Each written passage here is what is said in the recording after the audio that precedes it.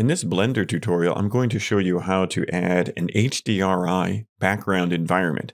HDRIs are a great way to add a photosphere effect, and an HDRI actually has different exposure levels, so the reflections really add to the render of your scene.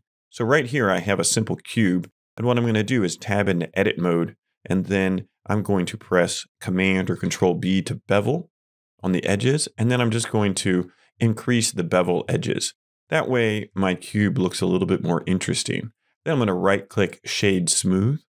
Then in the material properties, I have the base material, and I'm going to increase the metallic all the way up, and then lower the roughness.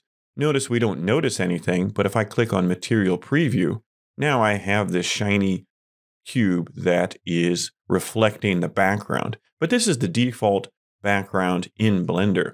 And you can change these backgrounds by clicking this arrow and then in this HDRI here, and then I can change it to different ones. But what if I want to see an HDRI that's custom? So something that I have or something that I've downloaded. So in order to get our own HDRI, we need to click on the World tab here. So in the world, we have the surface as the background, but the color is just this gray color. And of course, we can change the color. And if we do that, it'll change. And if we look at our render view, you'll notice now we have this world that is all green, which is fine, but I don't want a green world. So I'm going to click on this yellow box right here, and then I'm going to click on environment texture. Blender always uses this hot pink magenta to show that there's no texture. So what I need to do is click open, then I'm going to go get my environment texture.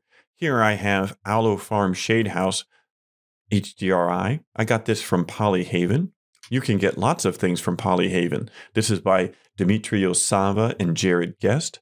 It's re released under a Creative Commons Zero license, so they have lots of HDRIs that you can use in your projects. Once I click Open Image, then you can see that the image is in the background, and now it's reflecting on the cube. And then I can scale the cube however I want, in the image and everything works great.